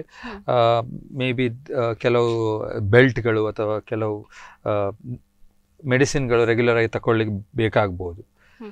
ಸೊ ಅವರು ಸ್ಕೂಲಲ್ಲೂ ಅವ್ರಿಗೆ ಸ್ವಲ್ಪ ಅಳಿ ಅರಿವಳಿಕೆ ಇದ್ದರೆ ಒಳ್ಳೆಯದು ಈ. ಮಗುಗೆ ಈ ತೊಂದರೆ ಇದೆ ಇವರಿಗೆ ಸ್ವಲ್ಪ ಸ್ಪೆಷಲ್ ಅಟೆನ್ಷನ್ ಅಥವಾ ಸ್ಪೆಷಲ್ ಕೇರ್ ಬೇಕಿದೆ ಅಂತ ಹೇಳಿದರೆ ಅವರು ಸ್ವಲ್ಪ ಅದಕ್ಕೆ ಅಡ್ಜಸ್ಟ್ ಮಾಡ್ಬೋದು. ಓಕೆ ಡಾಕ್ಟರ್ ಇನ್ನು ಕೆಲವೊಂದು ಸಂಧಿವಾತಗಳಿಗೆ ಟ್ರೀಟ್ಮೆಂಟೇ ಇರೋದಿಲ್ಲ. ಸೊ ಆವಾಗ ನೀವು ಆ ಪೇಷಂಟ್ಗೆ ಹೇಗೆ ಕೌನ್ಸಲಿಂಗ್ ಮಾಡ್ತೀರಾ ಅಂತ?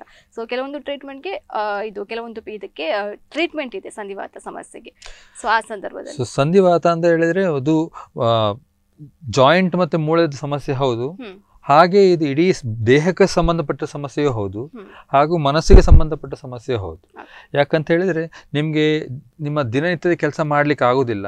ಎಲ್ಲರೂ ಮಾಡುವ ಹಾಗೆ ನಿಮಗೆ ಆ್ಯಕ್ಟಿವಿಟಿ ಮಾಡಲಿಕ್ಕೆ ಆಗೋದಿಲ್ಲ. ಮಕ್ಕಳಿಗೆ ಓ- ಓಡಾಡಲಿಕ್ಕೆ ಆಟ ಆಡಲಿಕ್ಕೆ ಕಷ್ಟ ಆಗ್ತದೆ. ದೊಡ್ಡ ನಾರ್ಮ್ ಅಡಲ್ಟ್ಸಿಗೆ ನಾವು ಡೈಲಿ ಆ್ಯಕ್ಟಿವಿಟಿ ಮಾಡಲಿಕ್ಕೆ ಕಷ್ಟ ಆಗ್ತದೆ ಅಂತ ಹೇಳಿದರೆ ಅವರದ್ದು ಅವರ ಫುಲ್ ಪೊಟೆನ್ಷಿಯಲ್ ಅವರು ಬಳಸ್ಕೊಳ್ಳಿಕ್ಕೆ ಕಷ್ಟ ಆಗ್ತದೆ. ಇದು ಅವರಿಗೆ ಡೆಫಿನೆಟ್ಲಿ ಆಗಿ ಮಾನಸಿಕವಾಗಿಯೂ ಅದು ಸ್ವಲ್ಪ ಎಫೆಕ್ಟ್ ಆಗುತ್ತೆ. ಸೊ ಇದರಲ್ಲಿ ಏನು ಮಾಡ್ಬೇಕಂತ ಹೇಳಿದರೆ ಒಂದು ಕೌನ್ಸಿಲಿಂಗ್. ಕೌನ್ಸಿಲಿಂಗ್ ಅದರಲ್ಲಿ ನಮ್ಮದು ಫಿಸಿಯೋ ಏನು ನಮ್ಮ ಸೈಕಲಾಜಿಕಲ್ ಕೌನ್ಸಿಲರ್ಸ್ ಇರ್ತಾರೆ. ಅವರು ಸ್ವಲ್ಪ ಅವರಿಗೆ ಮಾತಾಡಿ ತಿಳಿ ಹೇಳಿ ಸ್ವಲ್ಪ ಹೇಗೆ ಕೋಪಪ್ ಮಾಡಬೇಕಂತ ಮಾತಾಡ್ಬೋದು. ಎರಡನೇದಾಗಿ ಇಂಥ ಕಾಯಿಲೆ ಇದ್ದವರು ಬೇರೆಯವ್ರ ಜೊತೆ ಈ ಆರ್ಥರೈಟಿಸ್ ಫೌಂಡೇಶನ್ಸ್ ಥ್ರೂ ಇಂಥ ಕಮ್ಯುನಿಟೀಸ್ ಇರುತ್ತೆ. ಅವರ ಥ್ರೂ ಅವರು ಒಬ್ರಿಗೊಬ್ರಿಗೆ ಮಾತಾಡಿಕೊಂಡು ಕಷ್ಟಗಳನ್ನು ಹೇಗೆ ನೀವು ಹೇಗೆ ಸಾಲ್ವ್ ಮಾಡ್ತೀರಿ ಅಂತ ಮಾತಾಡ್ಕೊಂಡು ಸ್ವಲ್ಪ ಅವರು ಇದು ಮಾಡ್ಬೋದು. ಮತ್ತು ಎರಡನೇದಾಗಿ ಅವರ ಸುತ್ತಮುತ್ತಲಿನ ಜನ ಸ್ವಲ್ಪ ಜಾಗ್ರತೆಯಿಂದ ಇರಬೇಕು. ಯಾಕಂದರೆ ಅವರಿಗೆ ಆಗ್ತಿರೋ ಕಷ್ಟ ಅವರಿಗೆ ಮಾಡಲಿಕ್ಕೆ ಆಗದಿರುವ ಕೆಲಸ ನಾವು ಅವರಿಗೆ ಹೆಲ್ಪ್ ಮಾಡಬೇಕಾಗ್ತದೆ. ಯಾಕಂದರೆ ಇದು ಲೈಫ್ ಲಾಂಗ್ ಟ್ರೀಟ್ ತೊಂದರೆ ಪೇಷಂಟಿಗೂ. ಮನೆಯವರಿಗೂ. ಯಾಕಂದರೆ ಅವ್ರಿಗೆ ಏನು ಆಗುದಿಲ್ಲ ಅವ್ರಿಗೆ ನಾವು ಅವರಿಗೆ ಅನುಕೂಲ ಮಾಡಿ ಕೊಡಬೇಕಾಗ್ತದೆ. ನಾವು ಹೇಗೆ ಸಹಾಯ ಮಾಡಬಹುದು ಡಾಕ್ಟರ್ ಅವರಿಗೆ ಆ ಟೈಮಲ್ಲಿ ಸೊ ಇದು ಮೇನ್ಲಿ ಏನು ಡಿಮೋಟಿವೇಟ್ ಆಗಿದ್ದಾಗೆ ಮಾನಸಿಕ ಸಹಾಯನೇ. ಈಗ ನಾವು ಹೇಳಿದ ಮೆಡಿಕಲ್ ಟ್ರೀಟ್ಮೆಂಟ್ ಆಗಲಿ ಸರ್ಜಿಕಲ್ ಟ್ರೀಟ್ಮೆಂಟ್ ಆಗಲಿ ಫಿಸಿಯೋಥೆರಪಿ ಆಗಲಿ ಇದೆಲ್ಲ ಬಿಟ್ಟು ಇದೆಲ್ಲ ಹೇಗೂ ಆಗ್ತಾ ಇರ್ತದೆ. ಅದು ಬಿಟ್ಟು ಅವರಿಗೆ ಮಾನಸಿಕ ಸಹಾಯ ಅವರ ಪೇಷಂಟ್ದು ಮನೆಯವರಾಗ್ಬೋದು ಅಥವಾ ಪೇಷಂಟ್ ಆಗ್ಬೋದು ಅವರಿಗೆ ಧೈರ್ಯ ಹೇಗೆ ಹೇಳಬೇಕು? ಇದು it is like a warrior fighting every day ಅಂದ್ರೆ ನಮ್ಗೆ ಸಿಂಪಲ್ ಆಗಿ ಅನಿಸ್ಬೋದು ಶರ್ಟ್ ಶರ್ಟ್ ಬಟನ್ ಹಾಕೊಳ್ಳೋದು ಎದ್ದು ನಿಲ್ಲೋದು ಟಾಯ್ಲೆಟಿಗೆ ಹೋಗೋದು ಇದೆಲ್ಲ. ಬೇಸಿಕ್ ಥಿಂಗ್ಸ್ಲು ಮಾಡಲಿಕ್ಕೆ ಅವರಿಗೆ ಹೆಲ್ಪ್ ಬೇಕಾದರೆ definitely it will cause some depression and it will cause some stress on the family members ಸ್ವಲ್ಪ ಅದಕ್ಕೆ ಕೋಪ್ ಅಪ್ ಮಾಡಲಿಕ್ಕೆ ಅವ್ರಿಗೆ ಹೆಲ್ಪ್ ಮಾಡಬೇಕು ಹೊರತು. ಅದಕ್ಕೆ ಅವರಿಗೆ ಸ್ವಲ್ಪ ಧೈರ್ಯ ಹೇಳೋದಾಗಲಿ ಅವರಿಗೆ ಅದೇ ಅಂಥ ಕಮ್ಯುನಿಟಿಗೆ ಇನ್ವಾಲ್ವ್ಮೆಂಟ್ ಆದಲ್ಲಿ ಅವರಿಗೆ ಸ್ವಲ್ಪ ಬೇರೆಯವ್ರನ್ನ ನೋಡಿ ಸ್ವಲ್ಪ ಅವರಿಗೆ ಧೈರ್ಯ ಬರ್ತದೆ ಅಥವಾ ನಾವು ಮಾಡ್ಬೋದು ಅಂತ ಹೇಳಿ ಆಗ್ತದೆ. ಓಕೆ ನೀವು ಪೇಷಂಟ್ಗೆ ಮಾತ್ರ ಕೌನ್ಸಿಲಿಂಗ್ ಕೊಡ್ತೀರಾ ಡಾಕ್ಟರ್ ಆ ಸಂದರ್ಭದಲ್ಲಿ ಅವರ ಫ್ಯಾಮಿಲಿ ಮೆಂಬರ್ಸ್ ಅನ್ನು ಕೂಡ ಕುಳಿಸ್ಕೊಳ್ತೀರಾ ಕೌನ್ಸಿಲಿಂಗ್ ಕೊಡುವಾಗ ಅವರು ಯಾಕಂದರೆ ಇದು ಆ, ಪೇಷಂಟ್ ಎಷ್ಟು ಸಫರ್ ಆಗ್ತಾರೆ ಅಷ್ಟೇ ಸಫರಿಂಗು ಪೇ ಫ್ಯಾಮಿಲಿ ಮೆಂಬರ್ಸಿಗೂ ಇರುತ್ತದೆ. So definitely they will also require some amount of counselling and help okay doctor ಇನ್ನು ಈ ಎಲ್ಲ ಚಿಕಿತ್ಸೆ ಆಪ್ಷನ್ಸ್ ಕೆ ಎಂ ಸಿಯಲ್ಲಿ ಲಭ್ಯವಿರ್ತದ ಹೌದು ಈ ಸಂಧಿವಾತ ಆಗಲಿ ಅಷ್ಟು ಆರ್ಥರೈಟಿಸ್ ಆಗಲಿ ಇದಕ್ಕೆ ಬೇಕಾದದ್ದು ಟೆಸ್ಟ್ಗಳಾಗಲಿ ಏನು ಮೆಡಿಸಿನ್ ಕೊಡೋದು ಫಿಸಿಯೋಥೆರಪಿ ವಿಭಾಗ ಅಥವಾ ನಮ್ಮದು ಇಂಜೆಕ್ಷನ್ ಟ್ರೀಟ್ಮೆಂಟ್ ಹೇಳಿದಾಗೆ ಅಥವಾ ಶಸ್ತ್ರಚಿಕಿತ್ಸೆ ಈ ಎಲ್ಲ ಚಿಕಿತ್ಸೆಗಳು ನಮ್ಮಲ್ಲಿ ಲಭ್ಯವಿದೆ. ಹಾಗೆ ಈ ಸಂಧಿವಾತ ಚ ಕಾಯಿಲೆಗೂ ಈ ಡಿಸೀಸ್ ಮಾಡಿಫೈಯಿಂಗ್ ಏಜೆಂಟ್ಸ್ ಈ ಟ್ಯಾಬ್ಲೆಟ್ಸ್ಗಳು ಮೆಡಿಸಿನ್ಗಳು ಫಿಸಿಯೋಥೆರಪಿ ಎಲ್ಲ ಸೌಲಭ್ಯಗಳು ಇದೆ. So main thing is to identify this problems early. ಅಂತ ಹೇಳಿದರೆ ಇದು ಬರ್ತಾ ಬರ್ತಾ ಜಾಸ್ತಿ ಆಗುವಂಥ ತೊಂದರೆಗಳು. ಇದು ನಾನು ಹೇಳ್ತೇನೆ ಆರ್ಥರೈಟಿಸ್ ಅಂತ ಹೇಳಿದರೆ ಟೈರ್ ಸೌದ ಹಾಗೆ. ಎಷ್ಟು ಸೌದು ಹೋಗಿದೆ ಅದು ವಾಪಸ್ ಹಚ್ಕೊಳ್ಳಿಕ್ಕೆ ಆಗೋದಿಲ್ಲ. ಸೊ ಇನ್ನು ಉಳಿದದನ್ನು ಹೇಗೆ ಉಳಿಸ್ಬೇಕು ಅಂತ ಮಾತ್ರ ನಮಗೆ ಟ್ರೀಟ್ಮೆಂಟ್ ಮಾಡಲಿಕ್ಕೆ ಆಗುತ್ತೆ. ಸೊ ಎಷ್ಟು ನಾವು ಬೇಗ ಈ ಪತ್ತೆ ಹಚ್ತೇವೆ ಈ ಕಾಯಿಲೆಯನ್ನು ಅಷ್ಟು ನಮಗೆ ಡಿಸಬಿಲಿಟಿ ಕಮ್ಮಿ ಮಾಡಲಿಕ್ಕಾಗುತ್ತೆ ಅಂಗವೈಕಲ್ಯ ಪೇಷಂಟ್ ಇದು ಕಮ್ಮಿ ಮಾಡಲಿಕ್ಕಾಗುತ್ತೆ ಓಕೆ ಕೆಲವರು ಟ್ರೀಟ್ಮೆಂಟ್ ಅನ್ನ ಡಾಕ್ಟರ್ ಅರ್ಧಕ್ಕೆ ಸ್ಟಾಪ್ ಮಾಡ್ತಾರೆ. ಅಂದ್ರೆ ಹಾಸ್ಪಿಟ್ಲಿಗೆ ಹೋಗೋದನ್ನ ಸ್ಟಾಪ್ ಮಾಡಿ ಬಿಡ್ತಾರೆ ಬೇಡ ಇದಂದ್ರೆ ಲೈಫ್ ಲಾಂಗ್ ಇದು ಕಂಟಿನ್ಯೂ ಮಾಡಬೇಕಲ್ಲ ನನ್ನ ಹತ್ರ ಆಗೋದಿಲ್ಲ ಅಂತ ಹೇಳಿ. ಸೊ ಆ ಟೈಮಲ್ಲಿ ಅವರಿಗೆ ಯಾವ ರೀತಿಯಾದಂಥ ಪ್ರಾಬ್ಲಮ್ ಎದುರಾಗ್ತದೆ ಅಂತ ಪೇಷಂಟ್ಗೆ ಅದೇ ಈಗ ಟ್ರೀಟ್ಮೆಂಟ್ ನಾವು ಕಮ್ ಕಂಟಿನ್ಯೂ ತಗೊಳ್ಳಿಲ್ಲ ಆದರೆ ಅದು ಪ್ರೋಗ್ರೆಸ್ ಆಗುತ್ತೆ. ಈ ಡಿಸೀಸ್ ಏನಿದೆ ಇದು ಉರಿಯೂತ ಜಾಯಿಂಟಿನ ಉರಿಯೂತದಿಂದ ಆಗುವಂಥದ್ದು ಜಾಯಿಂಟ್ನ ತೊಂದರೆ ಜಾಯಿಂಟ್ನ ಡಿಫಾರ್ಮಿಟೀಸ್ ಏನಿದೆ ಕೈ ಸೊಟ್ಟಗಾಗೋದು ಕಾಲು ಸೊಟ್ಟಗಾಗೋದು ಸ್ಟೆಬಿಲಿಟಿ ಇಲ್ಲದಿರುವಂತೆ ಆಗೋದು ಕೆಲಸ ಮಾಡ್ಲಿಕ್ಕೆ ಆಗದಿರುವಂಥ ಕ್ರಮೇಣ ಜಾಸ್ತಿ ಆಗ್ತಾನೆ ಹೋಗುತ್ತೆ ಟ್ರೀಟ್ಮೆಂಟ್ ಇಲ್ಲದೆ ಇದ್ರೆ. ಓಕೆ ಹಾಗೆ. So we have to make them realise that ಇದು ಇದಕ್ಕೆ ಟ್ರೀಟ್ಮೆಂಟ್ ಅವಶ್ಯಕತೆ ಇದೆ ಇಲ್ಲದ್ರೆ ಬರ್ತಾ ಬರ್ತಾ ಇದು ತೊಂದರೆ ಜಾಸ್ತಿ ಆಗ್ತಾ ಹೋಗುತ್ತೆ. ಓಕೆ ನಾವೆಲ್ಲ ಸಂಧಿವಾತದ ಬಗ್ಗೆ ಮಾತಾಡಿದ್ವಿ ಡಾಕ್ಟರ್ ಸೊ ಇದರ ಸಿಂಪ್ಟಮ್ಸ್ ಅಂದ್ರೆ ಎಷ್ಟು ಟೈಮ್ ಬಿಟ್ಟು ಗೊತ್ತಾಗ್ತದೆ ಆ ಪೇಷಂಟ್ಗೆ ಅಂತೇಳಿ? ಸಡನ್ಲಿ ಗೊತ್ತಾಗ್ತದ? ಅಥವಾ ಒಂದು ವರ್ಷ ಆದ್ಮೇಲೆ ಎರಡು ವರ್ಷ ಆದ್ಮೇಲೆ ಟೈಮ್ ತಗೊಳ್ತದ? ಯಾವ ರೀತಿಯಲ್ಲಿ ಇರ್ತದೆ ಇದು? ಇದು ಕಾಯಿಲೆ ಏನಿದೆ ಇದು ದೇಹದಲ್ಲಿ ಇರ್ತದೆ. ಇದರ ಸಿಂಪ್ಟಮ್ಸ್ ಸ್ಲೋಲಿ ಅದು ಬೇರೆ ಬೇರೆ ಈಗ ಕೆಲವರಿಗೆ ಬೇಗ ಗೊತ್ತಾಗ್ಬೋದು ಅಥವಾ ಬೇಗ ನೋಡಿ ಸಿಂಪ್ಟಮ್ಸ್ ಶುರು ಆಗೋದು ಎಲ್ಲರಿಗೂ ಒಂದೇ ಥರನೇ. ಆದರೆ ಅವರು ಯಾವಾಗ ನಮ್ಮ ಹತ್ರ ಬರ್ತಾರೆ ಅದ್ರ ಮೇಲೆ ಡಿಪೆಂಡ್ ಆಗುತ್ತೆ. ಚಿಕ್ಕ ಪುಟ್ಟ ನೋವು ಇದೆ ಅಂತ ಹೇಳಿದರೆ ಇಗ್ನೋರ್ ಮಾಡಿ ಟ್ರೀಟ್ಮೆಂಟ್ ಡಿಲೇ ಮಾಡಿದರೆ ಅಥವಾ ಡಯಾಗ್ನೋಸ್ ಆದ ಟ್ರೀಟ್ಮೆಂಟ್ ಡಿಲೇ ಮಾಡಿದರೆ ಇದು ಪ್ರೋಗ್ರೆಸ್ ಆಗೋ ಚಾನ್ಸ್ ಜಾಸ್ತಿ ಇದೆ. ಅದೇ ನಾವು ಬೇಗ ಅದಕ್ಕೆ ಬೇಗ ಪತ್ತೆ ಹಚ್ಚಿ ಬೇಗ ನಾವು ಅದಕ್ಕೆ. ಇನ್ವೆಸ್ಟಿಗೇಷನ್ ಎಲ್ಲ ಬ್ಲಡ್ ಟೆಸ್ಟ್ ಎಲ್ಲ ಮಾಡಿ ಇದು ಯಾವ ಥರ ಸಂಧಿವಾತ ಅಂತ ಪತ್ತೆ ಹಚ್ಚಿ ಟ್ರೀಟ್ಮೆಂಟ್ ಬೇಗ ಸ್ಟಾರ್ಟ್ ಮಾಡಿದರೆ ಇದು ಪ್ರೋಗ್ರೆಸ್ ಆಗೋ ಚಾನ್ಸ್ ಕಮ್ಮಿ. ಓಕೆ ಡಾಕ್ಟರ್ ಹಾಗೆ ನಿಮ್ಮ ಡಿಪಾರ್ಟ್ಮೆಂಟ್ ಬಗ್ಗೆ ನಮ್ಗೆ ಸ್ವಲ್ಪ ಮಾಹಿತಿ ನಮ್ಮದು ಕಸ್ತೂರು ಆಸ್ಪತ್ರೆ ಆರ್ಥೋಪೆಡಿಕ್ ಡಿಪಾರ್ಟ್ಮೆಂಟ್ ಇದರಲ್ಲಿ ಐದು ವಿಭಾಗ ಇದೆ. ಈ ಮೇನ್ ಐದು ವಿಭಾಗ ಬಿಟ್ಟು ಇನ್ನೆರಡು ವಿಭಾಗ ಅಥವಾ ಮಕ್ಕಳದ್ದು ಆರ್ಥೋಪೆಡಿಕ್ ಸಪರೇಟ್ ವಿಭಾಗ ಇದೆ. ಇನ್ನೊಂದು ಕೈ ಕೈ ಆರ್ಥೋ ಕೈದು ವಿಭಾಗ ಬೇರೆ ಇದೆ. ಅದು ಬಿಟ್ಟು ಮೇನ್ ಆರ್ಥೋಪೆಡಿಕ್ ಡಿಪಾರ್ಟ್ಮೆಂಟಲ್ಲಿ ಐದು ವಿಭಾಗಗಳಿದೆ. ಅದರಲ್ಲಿ ಮೇನ್ಲಿ ಸ್ಪೈನ್ ಮತ್ತು ಸ್ಪೋರ್ಟ್ಸ್ ಇಂಜುರೀಸ್ ಅಂತ ಹೇಳ್ತೇವೆ. ಲಿಗಮೆಂಟ್ ಇಂಜುರಿ ಅಂಥದ್ದು ಟ್ರೀಟ್ಮೆಂಟ್ ಮಾಡ್ತೇವೆ. ಮತ್ತು ಈ ಸಂಧಿವಾತ ಟ್ರೀಟ್ಮೆಂಟು. ಮತ್ತು ಈ ಮೂಳೆ ಸವೆತ ಅಥವಾ ಜಾಯಿಂಟ್ ಸವೆತ ಏನಿದೆ ಆಸ್ಟಿಯೋ ಆರ್ಥರೈಟಿಸ್ ಇದಕ್ಕೆ ಟ್ರೀಟ್ಮೆಂಟು. ಮತ್ತು ಎಲ್ಲ ಥರದ ಫ್ರ್ಯಾಕ್ಚರು ಮತ್ತು ಬೋನಿನ ಬೇರೆ ಕಾಯಿಲೆ ಆಗಿರ್ಬೋದು ಇನ್ಫೆಕ್ಷನ್ ಆಸ್ಟೋಮ್ಯಾಲಿಟಿಸ್ ಆಗಲಿ ಅಥವಾ ಜಾಯಿಂಟಿನ ಇನ್ಫೆಕ್ಷನ್ ಈ ಎಲ್ಲ ಥರದ ಟ್ರೀಟ್ಮೆಂಟ್ ಕಾಯಿಲೆಗಳಿಗೂ ನಮ್ಮಲ್ಲಿ ಟ್ರೀಟ್ಮೆಂಟ್ ಮಾಡ್ತೀವಿ. ಡಾಕ್ಟರ್ ಆವಾಗ ನೀವು ಹೇಳಿದ್ರೆ ಕೆಲವೊಂದು ಸಂಧಿವಾತದ ಸಮಸ್ಯೆ ಫ್ಯಾಮಿಲಿಯಿಂದ ಬರ್ತದೆ ಅಂತ ಹೇಳಿದ್ರೆ. ಸೊ ಈಗ ನಾವು ಮಾತಾಡಿದ್ದು ಒಂದು ಐದು ಆರು ಸಂಧಿವಾತದ ಟೈಪ್ಸ್ ಆಫ್ ಸಂಧಿವಾತದ ಬಗ್ಗೆ ಮಾತಾಡೋದು ಮಾತಾಡುವಾಗ. ಸೊ ನಾವು ಅದರ ಬರದ ಹಾಗೆ ಈಗ ಅಂದ್ರೆ ಕೆಲವರಿಗೆ ಫ್ಯಾಮಿಲಿಯಲ್ಲಿ ಇರ್ತದೆ. ಸೊ ನಮಗೂ ಕೂಡ ಬರ್ತದೆ ಏನು ಅನ್ನುವಂಥದ್ದು ಒಂದು ಭಯ ಇರ್ತದೆ. ಸೊ ನಾವು ಹೇಗೆ ಮುನ್ನೆಚ್ಚರಿಕೆಯನ್ನು ತಗೊಳ್ಬಹುದು ಡಾಕ್ಟರ್ ಸೊ ಆಲ್ರೆಡಿ ಫ್ಯಾಮಿಲಿಯಲ್ಲಿ ಇಂಥ ತೊಂದರೆ ಇದ್ದಾಗ ಅವರು ಡಾಕ್ಟ್ರನ್ನ ಬೇಗ ಕಾಣಬೇಕು ಈಗ ನಾವು ಕೆಲವೊಮ್ಮೆ ಜೆನೆಟಿಕ್ ಟೆಸ್ಟನ್ನು ಮಾಡ್ಬೋದು. ಅದಿಲ್ಲದೆ ಇಲ್ಲದ್ರೆ ನಾವು ಆ ಪೇಷಂಟನ್ನು ಅಥವಾ ಆ ಮನೆಯವರನ್ನು ಫಾಲೋ ಅಪ್ಪಲ್ಲಿ ಇಟ್ಟಾಗ ಈಗ ಪೇಷಂಟ್ ನೋಡುವಾಗ ಅವರ ಮನೆಯವರನ್ನು ನಾವು. ಬೇಗ ಸಿಂಪ್ಟಮ್ಸ್ ಸ್ಟಾರ್ಟ್ ಆದಾಗ ನೋಡ್ಲಿಕ್ಕೆ ಸ್ಟಾರ್ಟ್ ಮಾಡ್ಬೋದು ಅಷ್ಟೇ. ಅದು ಸಿಂಪ್ಟಮ್ಸ್ ಇಲ್ಲದೆ ನೋಡಿ ಪ್ರಯೋಜನ ಇಲ್ಲ. ಬಟ್ ಆದಷ್ಟು ಬೇಗ ಸಿಂಪ್ಟಮ್ಸ್ ಬಂದ ಕೂಡಲೇ ನಾವು ಇದೇನೇ ಇರ್ಬೋದು ಅಂತ ನಾವು high suspicion of high risk ಇದು ಸಸ್ಪೆಷನ್ ಇಟ್ಕೊಂಡು ನಾವು ಮಾಡಬೇಕಾಗ್ತದೆ. ಓಕೆ ಡಾಕ್ಟರ್ ಇನ್ನು ಕೊನೆಯದಾಗಿ ಸಂಧಿವಾತದ ಸಮಸ್ಯೆಯ ಬಗ್ಗೆ ನಮ್ಮ ವೀಕ್ಷಕರಿಗೆ ಏನ್ ಮೆಸೇಜ್ ಹೇಳಲಿಕ್ಕೆ ಇಷ್ಟಪಡ್ತೀರಾ? ಈ ಸಂಧಿವಾತ ಅಂತ ಹೇಳೋದು ಒಂದು main osteo arthritis osteo arthritis ಈಗ ಏಜ್ ರಿಲೇಟೆಡ್ ಅಂದರೆ ಇದು ನಮ್ಗೆ ಎಲ್ರಿಗೂ ಬರುವಂಥದ್ದು if we live long enough ಇದು ಎಲ್ರಿಗೂ ಬರ್ತದೆ. ಕೆಲವರಿಗೆ ಜಾಸ್ತಿ ಬರ್ತದೆ ಕೆಲವರಿಗೆ ಕಮ್ಮಿ ಬರ್ತದೆ ಕೆಲವರಿಗೆ ಅದ್ರ ಅದು ಇದ್ರೂ ಕೆಲಸ ಮಾಡ್ಕೊಳ್ಳಿಕ್ಕಾಗ್ತದೆ ಕೆಲವರಿಗೆ ಆಗೋದಿಲ್ಲ. ಸೊ ಇದು ಪ್ರಿವೆನ್ಷನ್ ಈಸ್ ಬೆಟರ್. ಪ್ರಿವೆನ್ಷನ್ ಅಂದರೆ ನಾವು ಆ, ಸಂಧಿವಾತ ಬರದಿದ್ದಾಗ ಇದು ಸಾರಿ ಅಷ್ಟು ಆರ್ಥರೈಟಿಸ್ ಬರದಿದ್ದಾಗ ನೋಡ್ಲಿಕ್ಕೆ ಆಗದಿದ್ರು ಅದು ಪ್ರೋಗ್ರೆಸ್ ಆಗದಿದ್ದಾಗೆ ನೋಡ್ಬೋದು. ಒಂದ್ಸಲ ಅದು ಇದೆ ಅಂತ ಆದ್ಮೇಲೆ ಅದನ್ನು ಕಂಟ್ರೋಲ್ ಮಾಡಿ ಅದು ಜಾಸ್ತಿ ಆಗದಾಗ ಏನು ಮಾಡಬೇಕು. ಅದು ಮಾಡ್ಬೋದು. ಮತ್ತು ಕೆಲವು ವ್ಯಾಯಾಮಗಳಿದೆ. ಈ ಮಂಡಿಯ ಸಂಧಿವಾತಕ್ಕೆ ಈ ಕ್ವಾಡ್ರ್ ಸ್ಟ್ರೆಂಥನಿಂಗ್ ಅಂದರೆ ತೊಡೆ ಮೂಳೆಯ ತೊಡೆಯ ಮಾಂಸಗಳನ್ನು ಗಟ್ಟಿ ಮಾಡಿ ಅದು ತೊಡೆಯ ಮತ್ತು ಮಂಡಿದ್ದು ಸ್ಟೆಬಿಲಿಟಿಯನ್ನು ಜಾಸ್ತಿ ಮಾಡುವ ಎಕ್ಸಸೈಸ್ ಮಾಡ್ಬೋದು.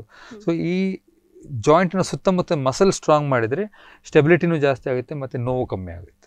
Okay doctor. ಈ ರೀತಿಯಲ್ಲಿ ನಾವೊಂದು ನಾವು ಒಂದು ಕಂಟ್ರೋಲ್ ಮಾಡಬೇಕು ಇದಲ್ಲದೆ ಸಂಧಿವಾತ ಇರುವವರು ರೆಗ್ಯುಲರ್ ಆಗಿ ಟ್ರೀಟ್ಮೆಂಟ್ ತಗೊಳ್ಬೇಕು. ಅರ್ಲಿ ಡಯಾಗ್ನೋಸಿಸ್ ನಿಮಗೆ ಉಂಟಂತ ನಿಮಗೆ ಡೌಟ್ ಇದ್ದಲ್ಲಿ ನೀವು ಬೇಗ ವೈದ್ಯರಲ್ಲಿ ಹೋಗಿ ಅದಕ್ಕೆ ಬೇಕಾದ ರಕ್ತ ತಪಾಸಣೆಗಳನ್ನು ಮಾಡಿಕೊಂಡು ಯಾವ ಥರ ಸಂಧಿವಾತ ಅಂತ ಅವರು ಹೇಳಿ ಅದರ ಪ್ರಕಾರ ಟ್ರೀಟ್ಮೆಂಟ್ ಸ್ಟಾರ್ಟ್ ಮಾಡಿದರೆ ನಿಮಗೆ ಇರುವಂಥ ಕಾಯಿಲೆ ಜಾಸ್ತಿ ಪ್ರೋಗ್ರೆಸ್ ಆಗದಿದ್ದಾಗೆ ಅಥವಾ ಅದರಿಂದ ನಿಮಗೆ ಜಾಸ್ತಿ ತೊಂದರೆ ಆಗದಿದ್ದಾಗೆ ಅಥವಾ ಅಂಗವೈಕಲ್ಯ ಉಂಟಾಗದಿದ್ದಾಗೆ ನೋಡ್ಕೊಳ್ಳಿಕ್ಕೆ ಆಗ್ತದೆ. ಓಕೆ ಡಾಕ್ಟರ್ ಹಾಗೆ ಕಾರ್ಯಕ್ರಮಕ್ಕೆ ಬಂದಿರೋದಕ್ಕೆ ನಿಮಗೂ ಕೂಡ ಧನ್ಯವಾದಗಳು. ಧನ್ಯವಾದ. ವೀಕ್ಷಕರೇ ನೋಡಿದ್ರಲ್ಲ ಇವತ್ತಿನ ಸಂಚಿಕೆಯಲ್ಲಿ ನಾವು ಸಂಧಿವಾತದ ಸಮಸ್ಯೆ ಮತ್ತು ಚಿಕಿತ್ಸೆಯ ಬಗ್ಗೆ ನಿಮಗೆ ಸಂಪೂರ್ಣವಾದ ಮಾಹಿತಿಯನ್ನ ನೀಡಿದ್ವಿ. ಮುಂದಿನ ಸಂಚಿಕೆಯಲ್ಲಿ ಇನ್ನೊಂದು ವಿಷಯದೊಂದಿಗೆ ನಾನು ನಿಮ್ಮನ್ನ ಭೇಟಿ ಆಗ್ತೀನಿ ಅಲ್ಲಿವರೆಗೂ ನಿರಂತರ ಸುದ್ದಿ ಹಾಗೂ ಮನೋರಂಜನೆಗಾಗಿ ತಾವೆಲ್ಲರೂ ನೋಡ್ತಾ ಇರಿ. ದಜ್ವರ್ ಟ್ವೆಂಟಿ ಫೋರ್ ಸೆವೆನ್